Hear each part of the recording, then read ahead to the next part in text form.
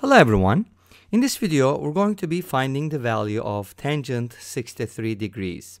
And the answer is going to be in radicals. We're not interested in finding it using a calculator, but we're going to be working it out algebraically. Okay, so let's go ahead and get started. I, I'm supposed to find tangent 63 degrees. And actually, initially, this problem was designed differently. I'll talk about that a little later.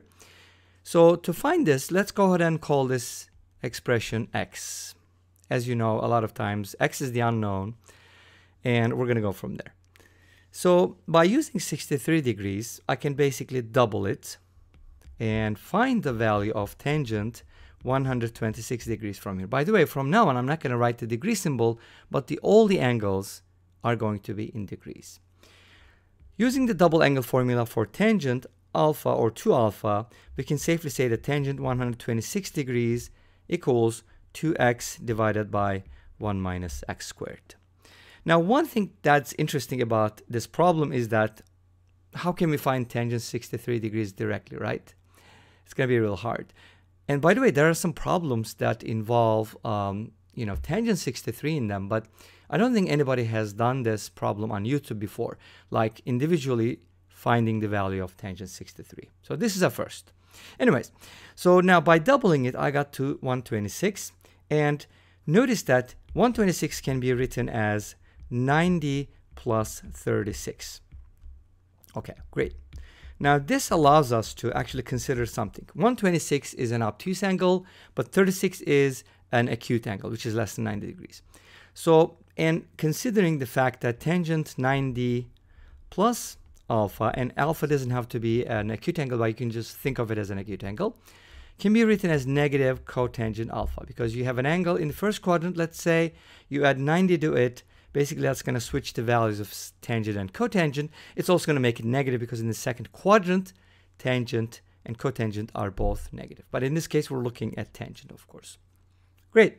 So this is going to give us negative cotangent 36 degrees, which is equal to 2x divided by 1 minus x squared. Now remember, tangent 63 degrees is equal to x, so we're looking for x. Great. Let's just go ahead and manipulate this expression as much as we can. But here's the thing. What is cotangent 36? Great. Well, cotangent 36 can be written as 1 over tangent 36, so this expression can be written as negative 1 over tangent 36 equals 2x over 1 minus x squared. So here's what I would like to do. I'd like to flip both sides and negate. So from here I can get tangent 36 degrees as x squared minus 1 divided by 2x. So basically this comes down to finding the value of tangent 36 and then setting up an equation to solve for x. But guess what? You can easily find the value of tangent 36. There's a long process uh, which you can use or maybe you already memorized it. But here's the thing. Here's a video that you can take a look at for the values of tangent 36. So I'm going to point you to that video. You can go ahead and take a look at it. If you're interested in how to find it, uh, there's a video by James Elliott right here, which you can watch to find out how he found the value of tangent 36. But I'm just going to give it to you. So tangent 36 degrees is equal to the square root of 5 minus 2 root 5. In that video, you can basically uh, find how it's done.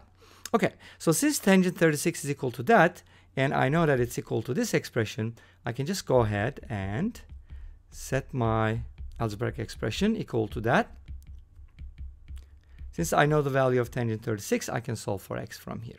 Let's go ahead and do the math.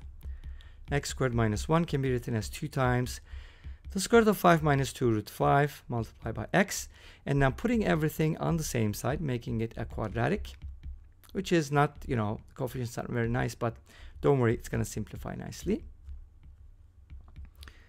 Okay, this is my quadratic equation. And as you can see from, you know, the constant term, and by using the Vieta's formulas, the product of the roots is negative, which means that one of the roots is going to be, or one of the solutions is a positive, and the other one is going to be negative, which means we're going to discard the negative solution because x needs to be positive. Why? Because x equals tangent 63 degrees. Great. Let's go and find the roots of this equation by using the quadratic formula. And the quadratic formula gives us the following. We can safely say that it's negative b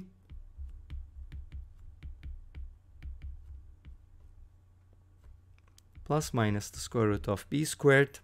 Now when you square the b, you're going to get the following. Minus 4ac, but there's a negative sign here, so it's going to become plus 4. All over 2. Great. Now what's inside the parentheses?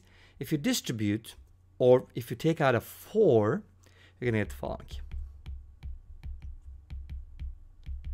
The square root of 4 is going to be 2, so I can take it out like this.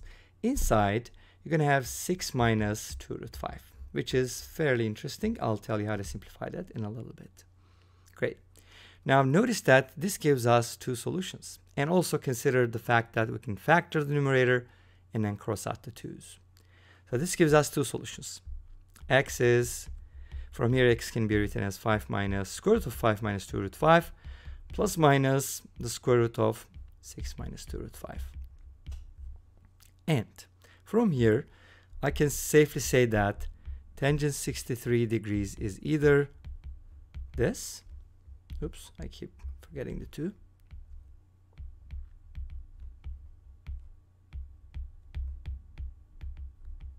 or this,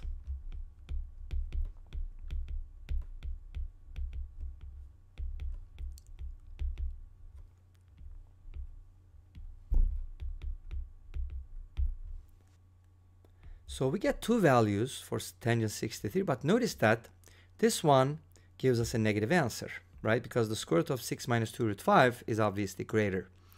So we're going to go with the second solution, which is positive, and we can simplify this.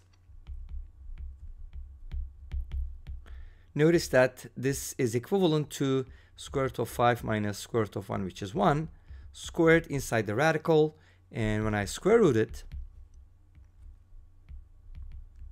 I can just write it as square root of 5 minus 1. And that is going to be the value of tangent 63 as a radical, which is interesting because we can find actually the exact value. Now, I'm going to show you a couple things before we leave. Here's one, tangent 36. You can safely see that it is equivalent actually to square root of 5 minus 2 root 5. And the value of tangent 63, as found here in a calculator, is the square root of 5 minus 2 root 5 plus root 5 minus 1. And this brings us to the end of this video. Well, thank you for watching. I hope you enjoyed it. Please let me know. Don't forget to comment, like, and subscribe. I'll see you tomorrow with another video. Until then, be safe, take care, and bye-bye.